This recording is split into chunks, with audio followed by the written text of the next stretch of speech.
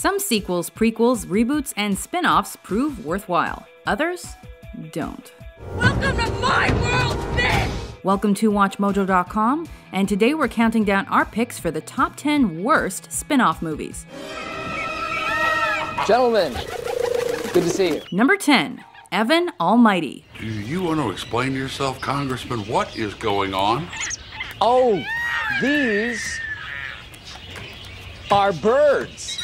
It doesn't sound like a bad idea. After his small but memorable part in Bruce Almighty, I'm sorry, I seem to have something stuck in my. Somebody get him some water, please. Steve Carell became a bankable movie star. So why not build a sequel around his character? but maybe add an arc and a beard. And everybody loves animals, right? But the biggest blunder here is the $175 million price tag. Even godlike powers can't save you from that kind of stupidity.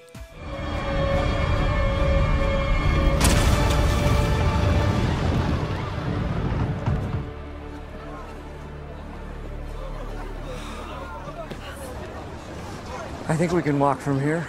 Number 9 Hannibal Rising. The origins of Hannibal Lecter with a screenplay by author Thomas Harris sound like a slam dunk. And it should have been. Sure, it's hard to top Anthony Hopkins, Jodie Foster, and Fava Beans, but the other films in the franchise did at least modestly well. However, this entry's over pretentious and unimaginative story doesn't even come close.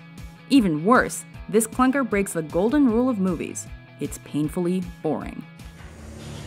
Answer me this. Would you have fed me to your little sister because you loved her? Yes. Number 8 Alien vs. Predator.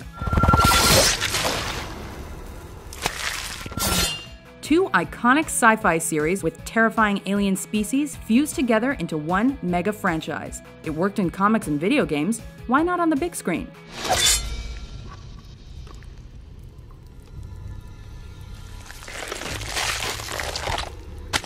We'll tell you why. Because Hollywood thinks we need one of those species to be the good guys. Underdeveloped characters and excruciatingly stilted dialogue don't help either. This whole thing was a trap.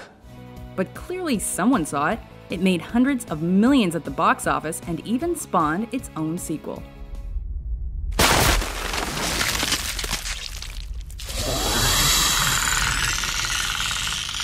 Number 7 Freddy vs. Jason. A Nightmare on Elm Street and Friday the 13th form a terrifying team based on the faces alone. But let's be real, these worn out villains needed a reboot. Perhaps a mano a mano battle could at least breathe new life into them? Or perhaps not.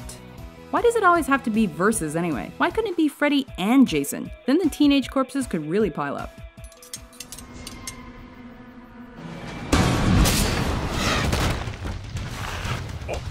Number 6 American Pie Presents Bandcamp.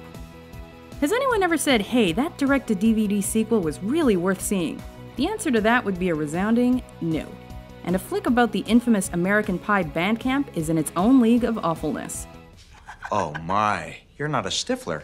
Yeah, I'm Steve's brother Matt. There are two Stiflers? Yes, sir. Mimicking sex comedy series like Porky's and Meatballs, the American Pie franchise proceeded with cut rate sequels that had all new casts and very little to do with their source material. The results were about the same.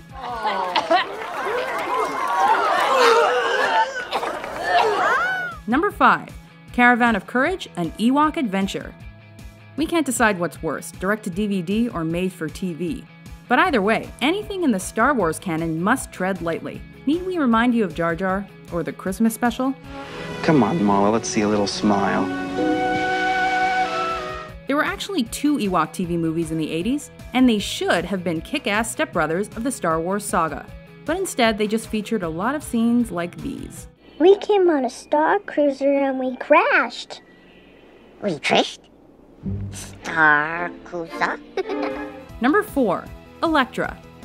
Elektra is at best a second tier character in the Marvel Universe.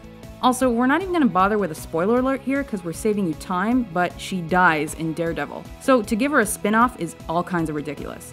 Actually, that's not fair. She's Daredevil's brightest spot, but in Elektra, she's nothing more than a brooding, self serious bore in red leather pants. They're not for you.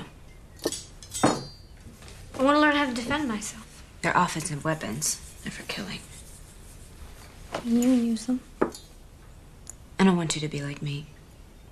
I do. Number 3 Son of the Mask. You did this to me. Combine the premise of The Mask with the box office drawing power of Jamie Kennedy. Jim Carrey turned down $10 million to reprise his role as Stanley Ipkiss. That should have been the end of that. But Kennedy took his place and was so attacked in the reviews, he made a documentary based on the experience. Don't you just love Halloween? We think the takeaway here is that sequels to Jim Carrey movies really require Jim Carrey. This is the part where you boogie. This is the part where you dance. Number 2 Supergirl. Lucy Lee, this is Linda Lane. No, it isn't. What? She's Linda Lee and I'm Lucy Lane.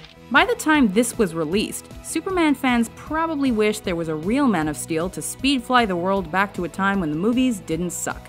Supergirl was given the daunting task of reviving the brand, but her doe eyed, cheesy treatment of the story just wasn't worthy of the cape, and she collected about a tenth of the box office returns of her cousin. He's your cousin? Yes.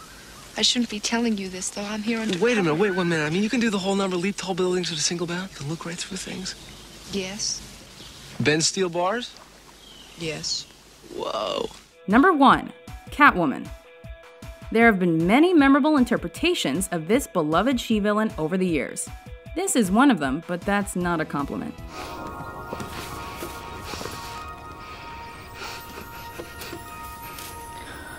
Catnip.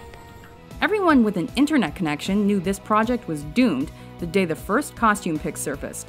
But Halle Berry had just won an Oscar, so it took something special to earn this flick its place as one of the worst films in Hollywood history. A girl like me lands on her feet.